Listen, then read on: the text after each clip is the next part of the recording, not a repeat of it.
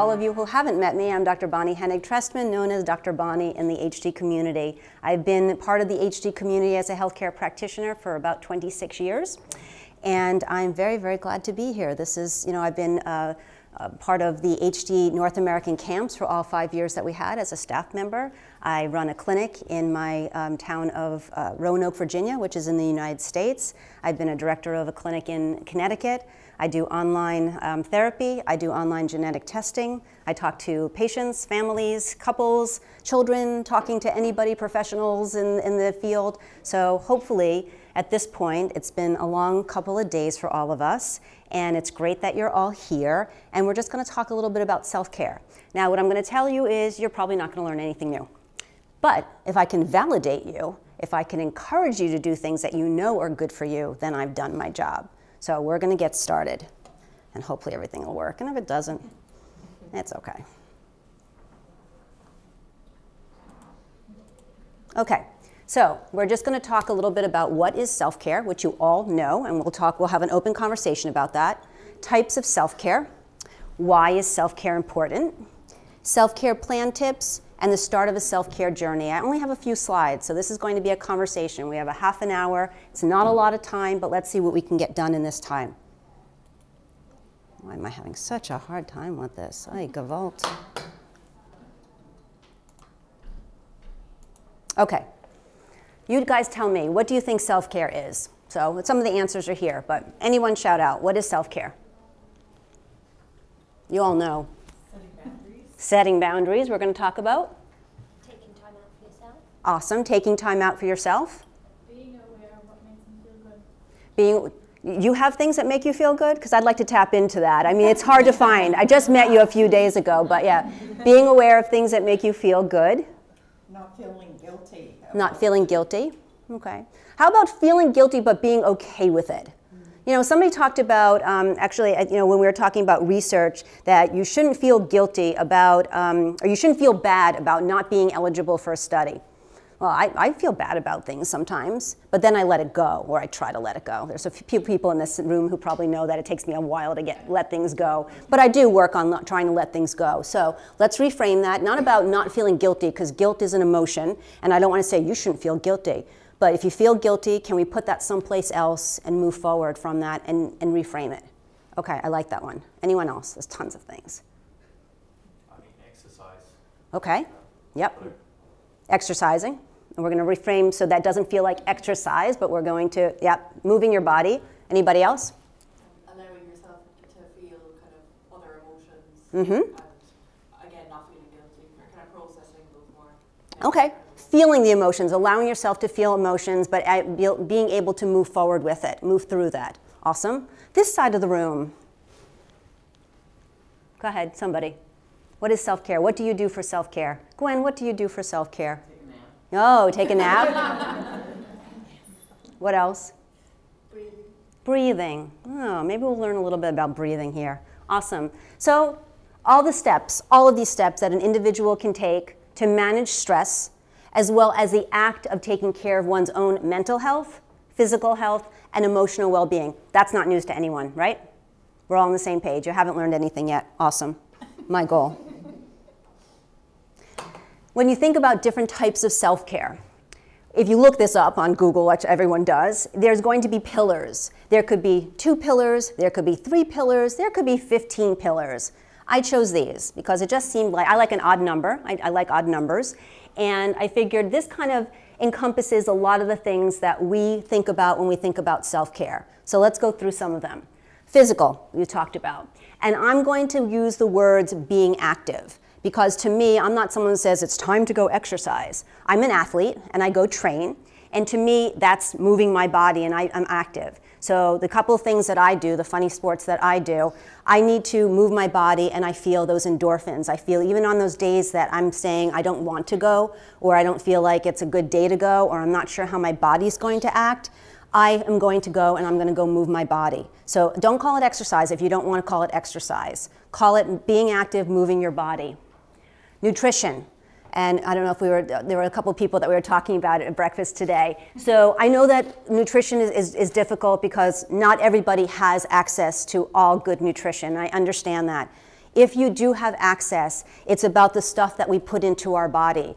And that includes really good foods that are good for our bodies and our brains, but it also includes hydration. So, really making sure that you drink water, that you are taking care of all of those types of needs. Sleep. Sleep is really important. So, for all of my science people here, there are tons and tons of studies that do show that we have, you know, good sleep is really, really important for our bodies. Whether you are at risk, whether you are positive for HD, if you are human on this planet, sleep is really, really important. I don't have it on me, but the way that I monitor my sleep is kind of like with a Fitbit, it's called an Oura ring. So, it was really important to me to say, I'm sleeping, but am I getting good sleep? Am I getting into REM sleep? Am I falling asleep fast enough? And it was a reminder to me to say, I need to start thinking about winding down and getting into bed because I would have uh, had sleep, but it wasn't good sleep. And I actually needed biofeedback. I needed, as a researcher, evidence, hard based evidence to say it was a good night or it wasn't a good night. And I adjust that accordingly. I just wear it at night. Medical care. So that is not only for people who are at risk or positive or who are symptomatic, but if you are a caregiver and if you're saying, I need to get my loved one to the doctor for X, Y, and Z, but you are not going for your annual checkups, then you are not doing self care in that way. You might be doing in other ways, which is awesome, but I encourage you to follow up as somebody who loves somebody with Huntington's disease, that medical care includes taking care of you. It is really important. If you are saying, I need to go get that annual, I need to go get my, you know, my mammogram, I need to go get my pap smear, I need to go get my, you know, prostate checked, whatever organs and things that you have, it is really important to do that. And again, I realize all over the world that that's not so easy. And if we want to go to a specialist who we're not comfortable with, that's not great either either. But hopefully you will be able to try to find people who you feel comfortable going to to make sure that you are taking care of yourself. We talked a little bit at Ask the Experts, and you'll hear when I speak, I enunciate all of my words. I was taught this, so you can make fun of me. It's fine. Avoiding non prescription drugs and alcohol. We are here, we are in Scotland, um, people like to drink. I know a lot of you were out last night drinking. I'm not going to, and I'm a mom of, you know, between my husband and myself, we have five adult children who live all over the world. I'm not an idiot. I know people, you know, are going to go out and celebrate things, or if you're upset, you're going to have a glass of wine or something like that. I imbibe as well. But I know for me that when I do that too much, that my body is going to start telling me this isn't so good. So yes, we're here, we're all together, we want to celebrate, we want to go out, we want to party, we want to have a good time. Okay, work that in. Are you able to give yourself some rest days? Are you doing this too much? Are you putting things in your body, you know, because you're at risk saying, screw it, I'm at risk and I'm just going to take all of these risks anyway? I want you to think about why you're doing this. And again, in terms of that's the alcohol, but in terms of the non prescription drugs, please, please, please think about that as well you know, my patients who come in and say, well, I saw on the internet that marijuana is good for your brain because if you have Huntington's disease, we don't have a clinical trial that says that. And I know you might feel better while you're taking, while you're using or, or afterwards, but we don't have clinical trials. But what we do know is that when you are smoking marijuana, especially when you have a young brain, and when I say young, even up to 25 or, or, or 27, it is really damaging your brain. You're going to feel more paranoid, you're going to feel more depressed uh, and there are going to be side effects. So I'm not here to tell you yes or no, don't do something. I'm here to tell you I want you to think about it. You've got this one brain, and we're trying to take care of it. So think about the reasons you are doing that. And just, you know, we were talking again this morning. It was like, well, physical, sunscreen. Okay, we talked about it. Ask the experts. Are you putting your seatbelt in when you're getting into the car? You know, are you smoking, you know, cigarettes? Those are all things it's really important. And I, you know, I will, it's anecdotal because I don't have clinical research on myself, but you know, I am quite a pale person, um, and I don't worship the sun, and I'm not somebody who does that. And I wear sunscreen when I go out, and I take care of my body as best as I can. But I'm 58 years old too, so you know, for me to know that I'm not somebody who goes out in the sun and gets sunburn or does or does things like that. This is to me how I take care of myself. This is my self-care. So think about is that part could that be part of a self-care routine? So emotional is that next pillar, that next bucket. Feelings. Having all those feelings, somebody was talking about feeling all those feelings is part of self-care. When you're denying a feeling, when you're saying I don't want to feel that, whether it's something bad, whether it's something good because you're feeling like if I keep feeling good, something bad is going to happen. That's not how it works. But if you're able to feel all of those different feelings and then do something with that, that's part of that emotional well being self care bucket. Relaxation we all need to laugh. We all need to go and like do a, a brain dump. You know, with uh, I'm not on any social media except LinkedIn. Um, so, but if you are on social media and you see the people doing like a photo dump, I guess it's called. I'm going to sound like a real dinosaur, but a photo dump. You need to once in a while do that to your brain. You know, you need to have this brain dump where you just do relaxation. And I'll talk about this in a second. Relaxation does not mean going down the rabbit hole of social media and you look up four hours later and say, Where did the time go? Okay? Think about that for your self care. How do you feel after you've been on social media for hours and hours and hours? Are, do you feel good about yourself? Are you scrolling for that ex? Are you stalking somebody? I give you a challenge to say, you know, if you cannot do that for a day, even a week, you can go on social media, you can go on the video games for a little bit of a, of a, of a, time, but if you're somebody who is addicted to that, if you're somebody who's going down those rabbit holes of the social media and you can't get away from that, that's a problem. That's not how you're taking care of yourself. Again, I'm not telling you what to do, I'm just going to offer you a challenge to say if you think about not doing that so much or setting a timer for yourself, that might be a way to offer yourself some self care. And art.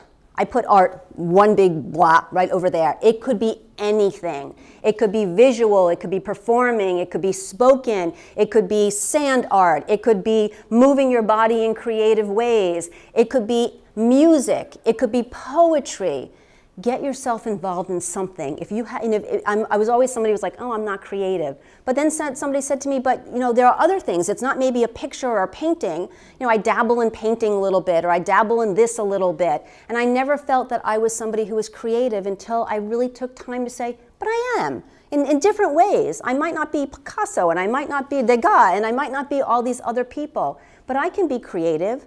And if you just tap into that a little bit and allow yourself to say, can I do this? Can I dabble in this? Can I even collect art? I love to go look at art. I love to go into galleries. That to me is self care. That helps me because when I look at art, especially paintings and sculptures that I like to collect, I have an emotion. And it brings out an emotion because I identify with something and it makes me feel a certain way. That is self care. Talking. So under that, when we're talking about those emotions, under the bucket of emotion, being able to talk to people about this. We're going to get into a little bit more under social, but just being able to talk about how you are feeling and connect in terms of some of those feelings that we just were talking about, in terms of, of recognizing some emotions and being able to talk about it. So again, this is a little bit of smorgasbord, tapas kind of thing, falling under these different categories. Psychological is a little bit different than emotional because to me, it's a little bit about learning. So when you are here at this conference and you're feeling that brain, you know, that your brain is getting full, it is a way of self-care because you're being educated. We find out new information that we can bring back or it validates us, which is awesome. So to me, that psychological pillar or bucket about thinking and learning and also that mindfulness. We'll talk a little bit about that because that's one of those like earthy, crunchy terms of, you know, I'm not into mindfulness and I'm not into all of that stuff. But it's about trying to just reflect for yourself to be able to say, can I quiet my mind, even if it's going to be for five minutes? And if you allow me later on, we might try something. You don't have to take part in it. I'm not hypnotizing you. You're in total control. You can walk out, you can close your eyes. We'll see if it works if you're willing to do that with me. But I want to ask you afterwards how you feel when you take just a couple of minutes to just reflect on you. And also, uh, we talked about that brain dump of decluttering those cobwebs in your head. This is what happens at these conferences. You're going to be filled up, and you need to declutter every once in a while. Spiritual. I just stuck beliefs in there because I don't care what background you are, I don't care what nationality you are, I don't care what you believe. Let's just put it in that. Whatever you believe, whatever, whether it's religion, whether it's about your morals and values, whether you are spiritual in terms of connecting with nature. The people that know me here, who know that I went to the camps, I am not an outdoor person, also why I'm extremely pale. It is not my jive, but I know that there are people who just want to get into a forest or go to a beach or just be at their place. You do you, boo. You know, you, you go and you do that. but that is spiritual for a lot of people. So embrace that because that is self care when you get out there and you want to be out in nature and you connect with the stars and all of the scary animals that are out there and you know all those things that will, will send me you know running for the hills or running for a city at least. So I think that that's also really important to know that that is self care. All I'm doing here is identifying things that you already have all of these buckets, I'm sure, but it's hopefully going to validate you. And social, that's what we're doing here. So whether it's connecting with a neighbor, I live in uh, Roanoke, Virginia, where my next neighbor is not too far away. And, you know, but I've lived in cities where my next neighbor was right next door, and for years and years, I didn't know who that person was. You know, or that they lived miles away, uh, and I would see them at a store sometimes, and, you know, I would never say hello to them. But if we just connect with people and just say hello, like the challenge that I gave you at the Ask the Experts, did you go and say hello to one other person who you didn't know just to say, hi, my name is so and so, who are you and where are you from? Right? It's just about connecting with people because I think that that is so important. Obviously, friends, that is really, really important to say. When I talk to patients and they say, I say, Who your, who's your support system? They say, nobody. Okay, I know it feels like nobody, but is there one person? Well, there's this person, but they're busy. There's one person. When's the last time you reached out to them? Well, they're busy.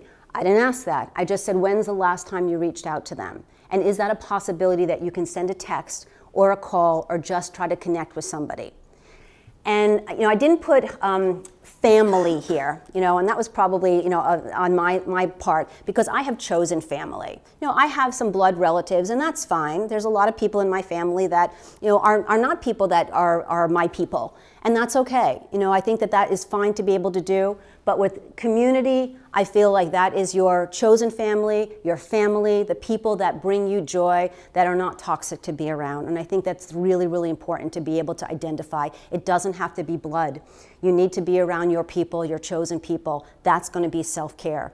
For someone to say to you, well, we're blood and you have to, or you have to do this, that's it's not okay all right? Just please know that you need to do you. You need to be around positive people. So just because somebody has the same last name or is a blood relative or somewhere down the line somebody married somebody that, that doesn't mean that those have to always be your people. Sometimes we get lucky and they are and that's awesome but not all the time. So chosen family is family as well.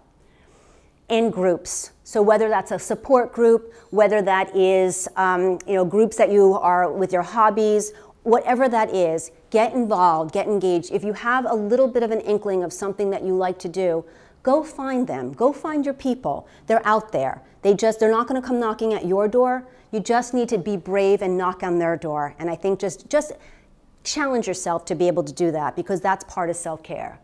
And somebody did say boundaries, and I think that that's really really important. So again, saying no is okay limit setting, being able to say, you know, I can't do that today, I'm really sorry, I can't do that today, is not a bad thing. That is about self care. So you need to check in with you if you're somebody who always says yes. Why? Why is that? Again, you don't have to answer it, just to think about for yourself. Why do I always say yes? Am I looking for somebody to always give me that affirmation? Am I the one that, you know, that people call that Mother Teresa, that person that always going, is going to help? Who's taking care of you? And I think that that's really important to be able to understand why self care is important. Why is this not working? Okay, there we go. All right, why is self care important?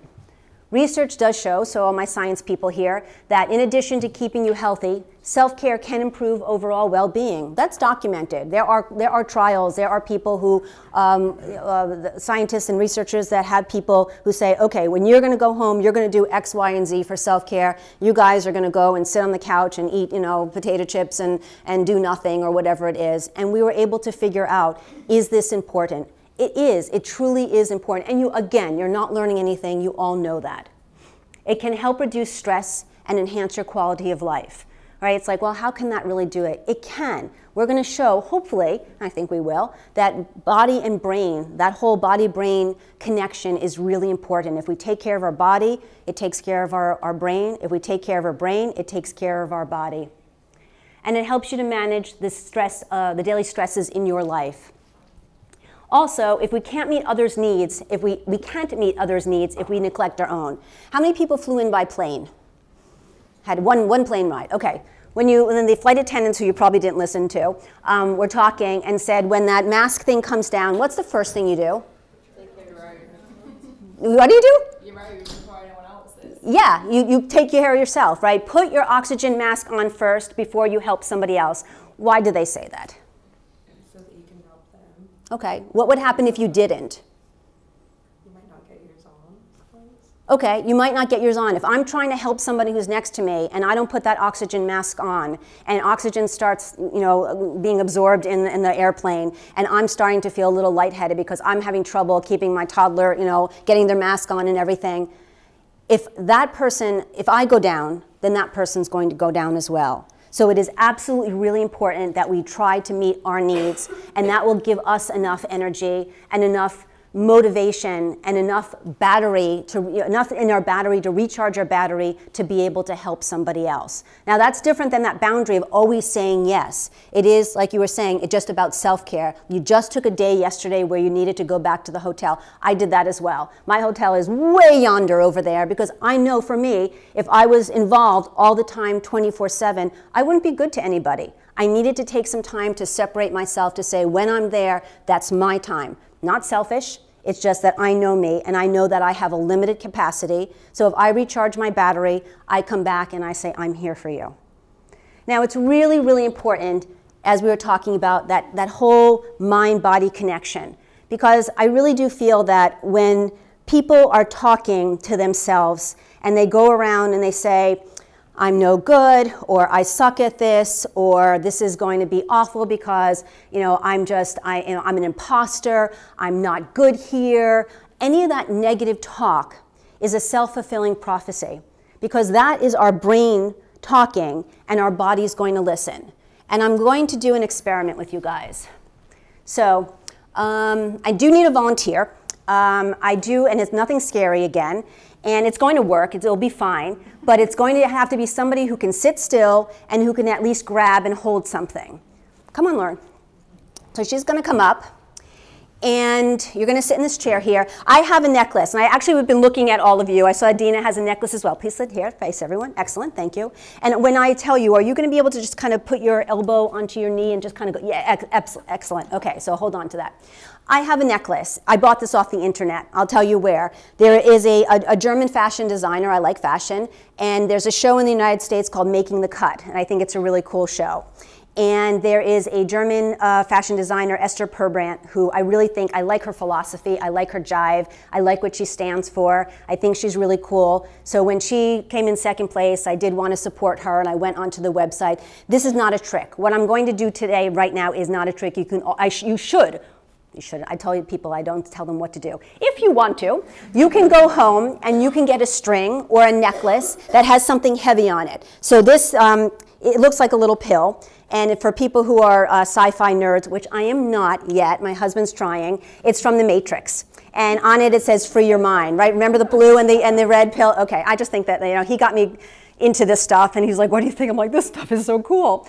Um, so this, she was able to collaborate with the cast of The Matrix, and she came up with this little pendant, which you can go on and you can buy from her website. So long story of this is not a trick. There's nothing that I'm going to show you that is a, a trick here. You can go home, you can do it tonight, you can get a string and a really heavy washer. Or as long as you're able to sit down and you can um, grasp something and just be as still as possible, which I can see that you can do. All right, you're with me on this.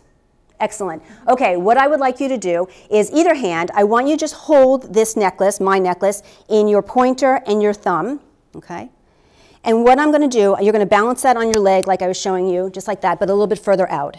And balance, you balance your elbow on your leg. Thank you so much. Perfect. All right, I know this is going to be hard to see, and I, I apologize. If people, you know, um, let's get you a little bit further back so that people can see a little bit. All right. All right, have a seat here. Thank you. Thank you. Same thing, same position. I'm going to hold this really still, okay? I'm going to stop this from moving. I don't want you to move, but I want you to think mentally that you want the pendant to go back and forth. I'm going to keep this as still as I possibly can, and I want you to think back and forth, just mentally. And we're going to wait a little bit, and it's going to take a little while, and that's fine. But I want you to think back and forth, that you're going to move that pendant back and forth, back and forth in a line back and forth in a line. Back and forth, think back and forth, just do that with your mind, going back and forth.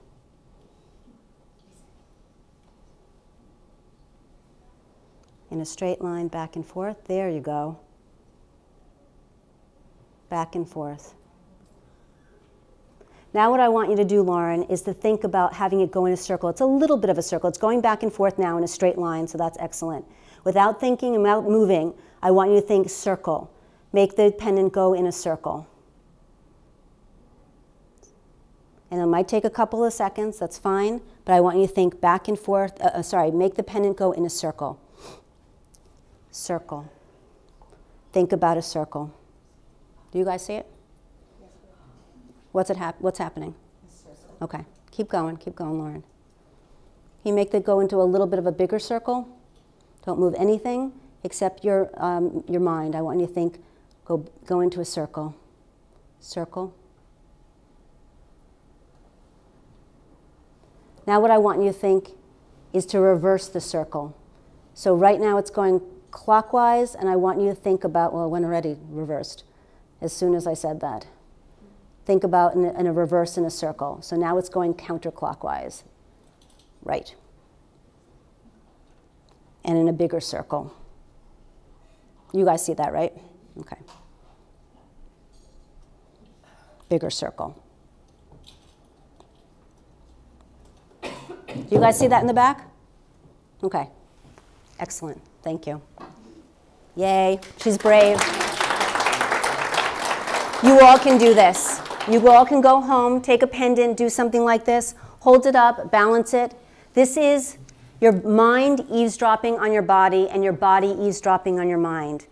I've done this to myself. I sat and go, oh, that's not going to work. You know, and I'm like, okay. So the biggest skeptic, I also want you especially to really think about doing this. Can you hold this? Can you think about having it go straight across? Can you think about then going into a circle? Can you reverse the circle? Can you make it smaller? Can you make it bigger just with your mind? And the answer is yes, you can. And that proves to you that your mind and your body are working together. So when you walk around and say, I suck, I have no friends, nobody's going to like me, your body's going to go, yep, that's what's happening. But if you walk around, and I'm not saying walk around going, I'm the greatest of all time. Okay, well maybe you want to, and I give you, I give you props for, for confidence. That's fine. I give you props for confidence for that. But if you say to yourself, today might be an okay day. I woke up today, and if I have just a little bit of grace to say thank you. So I was telling you before that I'm an athlete, and one of the things I do is I fence. I'm a fencer, and I compete nationally and internationally. And I get really, really very anxious when I go into some of my major competitions. And do you, you know what fencing is? Does anyone know? Okay, so I play with swords, okay, and I stab people, and I like it. Um, and I like winning a lot. So when I go into these competitions, I'm really, really nervous, and I'm just looking around and sizing people up and just going, okay, well, if I say to myself, you're not going to do well today, you're going to fulfill that prophecy. You're going to not do well today. But if I go in to say, my body has allowed me to get here, and I'm able to be here and to be around these people and to compete against them, and this is an opportunity for me, I don't know what's going to happen. I'm going to do my best. I have just set the stage for me to walk in in a much better position than if I say, oh, I suck and I'm going to lose. So I want you to at least challenge yourselves and think is that something that you possibly can do to wake up every day to say, Thank you, body, for letting me get up. Thank you for allowing me to be here. It's just a possibility for you guys, and I would challenge you on that. You know, I think it's because I'm a lefty, and this is what. Okay, so let's talk about self care plan. Really, very easy. Examples of self care plan maintaining that regular sleep, eating as healthy as you possibly can, um, uh, exercising, we talked about you know, being moving your body instead of calling it exercising. I Can see it there? It's better here. Spending time in nature for people who like to do that. Engaging in any kind of hobbies. Connecting with others. We talked about setting boundaries. And again, that expressing gratitude. If you are able to, whatever you believe, you believe in yourself no matter what you believe outside yourself, believe in yourself and to be able to say, Thank you. Thank you, body, for being able to get me here. Thank you, body, for allowing me to do this, to learn, to be around other people. If you are able to express gratitude, that's the start of your self care plan. So here's the caveats, because Dr. Bonnie always has caveats. In order for self care to work, you need to do it consistently. So we can talk about breathing exercises, we can talk about doing stuff. If you do it once or twice, and if you only do it when you're stressed out, that's going to be really hard to do. Right? So if you go and somebody is, um, if you're upset about something and someone's screaming at you, calm down, calm down, that is not going to work. But it's if you are able to say, you know what, we did some breathing exercises when you were feeling good, and now I remember, and my body remembers how to do that. Now that I need it, I'm going to start doing that because I've practiced that. So it's very important to have routines, and the routines would be about sleep. The routines would be about trying to eat healthy. The routines would be about using sunscreen, putting on your seatbelt, and you know, hydrating yourself. Those are routines that you just do every single day, and it can be really helpful because then you don't have to think about it. So, as we talked a little bit about, entertainment is one part of self care and it is important. It is important for you to connect, to laugh, to, to be uh, amused, to go to a movie and cry and feel all these emotions. That is fine. But if you go down that rabbit hole of watching videos and playing video games for hours and hours and hours on end, then that's not entertainment. You know, that's an addiction at that point. So really do consider that. And we all fall into those rabbit holes. You know, so don't I think it's really important to acknowledge that and not beat yourself up for that. Perfect is impossible. If you strive for, for perfection, you have already set yourself up. If you say, I'm going to do the best I possibly can and I'm prepared for that, then that's a really good way to start. If you say to yourself, I'm just going to try to uh, imbibe in this hobby, I'm going to try photography, I'm going to try to do something you know, that I haven't done before, that's fine. Perfect is impossible and start small. Also, please do know that self care can look different for everyone, but to count as self care, the behavior should promote health and happiness. So think about why you're doing these things as well. If it's bringing you some joy, if you are feeling better after it, then it is self care. And starting the self care journey, you're already here. You started it. You are here. For some of you, it's your first time. Sometimes for some of you, it might be their first time uh, traveling outside of where you live. That is amazing. That is something to be proud of. So I think that that's really important to know that you have already started to do that. You're in this room, so you already are saying, hmm, what's this all about? And be proactive. So the tip I'm giving you is to give people the script. So in terms of that, I mentioned that at the Ask the Experts. There is this post-conference slump that happens. It, it happens to professionals, it happens to people, first timers, it happens if this is your 420th conference. We are here, there's energy. You don't need to explain Huntington's disease to anybody in this room, and that's great. But when you go home, all of a sudden that structure is not there and the people are not there. That is real. You don't need to beat yourself up about it, but just know that you can give yourself grace. As I talked to people this morning, they said, I took tomorrow off. I took the next day off. I took a little bit of time so I can just kind of let my body recover from all of this.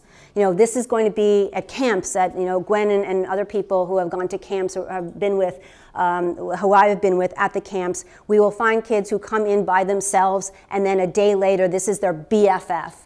And that's amazing, but the BFF lives across the country and it's going to feel a little bit different after that. And that's okay because they can stay connected.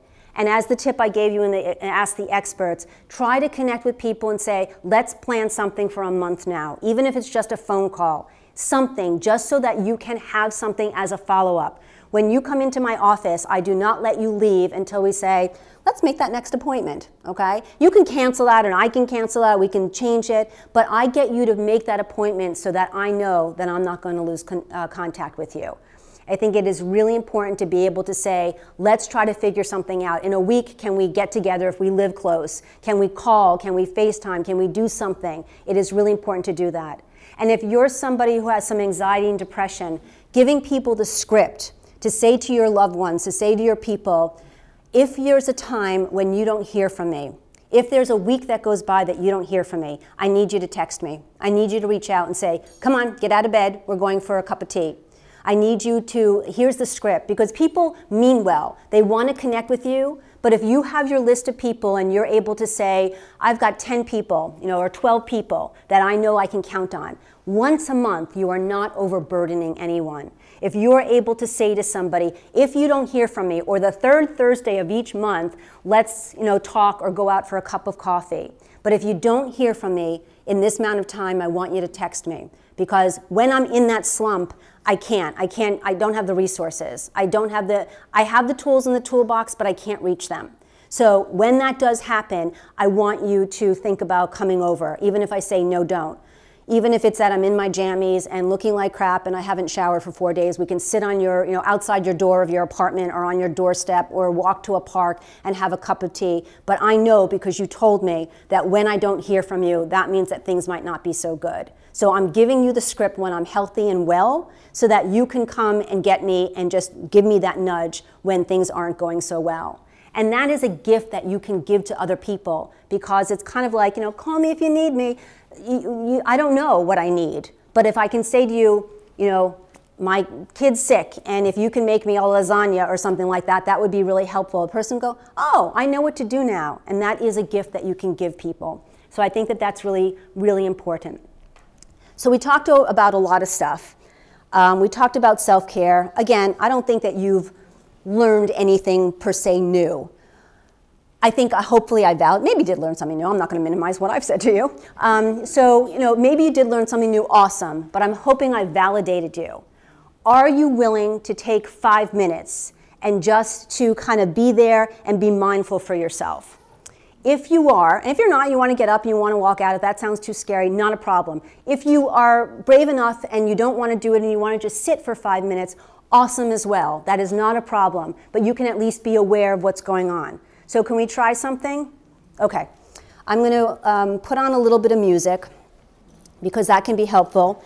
You can sit, hopefully with your feet, you know, kind of planted on the ground. And the first thing that I'm going to have you do is put one hand on your upper chest here and one hand on your belly, if you can. If you have something on your, on your, your lap, you want to move it, take a second. And I just want you to breathe. Just breathe. Close your eyes if you want. No one's looking. No one's looking. I'm not even looking. Just breathe a little bit. Take a few breaths in and a few breaths out. Too loud, Bonnie. And I want you to think about which hand is moving. Is that top hand moving? Are you a belly breather? When we're born and we see a baby, Babies are belly breathers. We know we breathe from our lungs. Nothing's going to change that. But a lot of times as we get older, we start having these shallow breaths of these chest breaths. Again, this is not, you're not doing anything wrong or right, but if your hand, your top hand is moving, I want you to think about just getting your bottom hand to move. Expanding your belly, and contracting so that you have your top hand is trying to be as still as possible and your bottom hand is the hand that's moving in and out. And it can be very helpful for me to give you a count. And when you get really good at it, or if you are good at it, the count can be longer and longer. But I want you to think about breathing in for two counts and out for four. Not fast, but just breathing in one, two, and out. One, two, three, four. Breathing in for two. Breathing out. One, two, three, four. Just quieting your brain. Breathe in. One, two. And out. One, two, three, four. And go back to regular breathing, but see if you can continue your belly breathing. So you don't have to follow a count if you don't want, but you're continuing to belly breathe.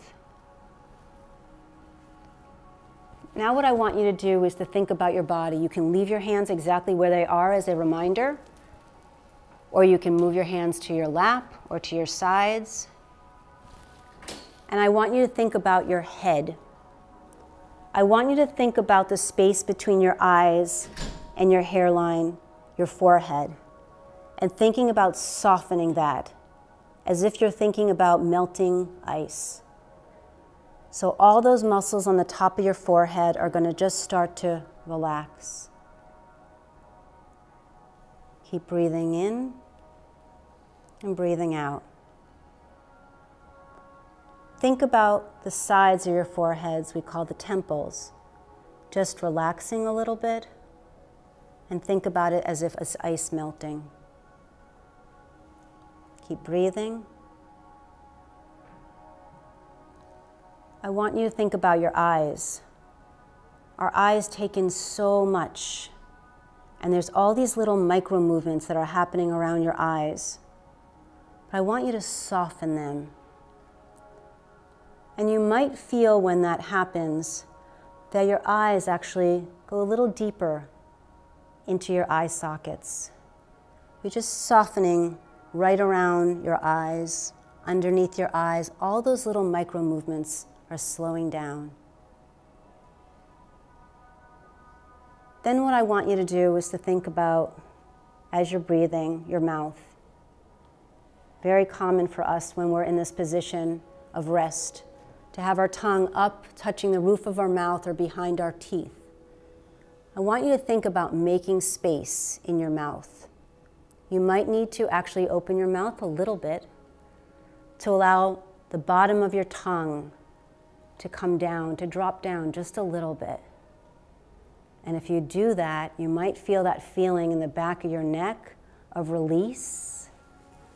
You might feel that all of a sudden your shoulders are not so tense anymore. And there's a feeling of space in your mouth. Keep breathing in and out. And as we're at this relaxed state, I want you to think about your heart. We proved here today that our body and our mind are so connected. And I want you to take time to search in your heart for yourself and to say, I'm proud of me. I came here. I did this. I'm here and I'm worth being here. And just being able to acknowledge yourself and everything that you've done because you are so important and you are so loved and there are so many people in this organization now who you can reach out to and friends. And I want you to really think about treating yourself as if you were somebody that you love. Think about the ways you would talk to yourself. Think about the things you would say when you're down or unsure. And be able to allow yourself grace. And this was five minutes, so very slowly, I want you to think about moving your fingers and your toes, your hands and your feet, opening up your eyes, letting them open slowly. That was five minutes of your day. How do you guys feel? Good? That's right. This is you did this. I just talked a little bit. It's different, right? All of a sudden you're just like, and you might be emotional. You know, you might be emotional. There might be like that self love. I, I cry all the time when I do this. I practice this. As crazy and erotic as I am, and, and people in this room who know me know I, I, I am, I'm high strung. But I need to do this every once in a while to check in. That was five minutes of your day. That's no time. People are in the bathroom pooping longer for five minutes. Take, don't do this while you're pooping. Take five minutes, allow yourself to do this. Talk to yourself as if you were somebody that you loved. And I say namaste to all of you. Namaste.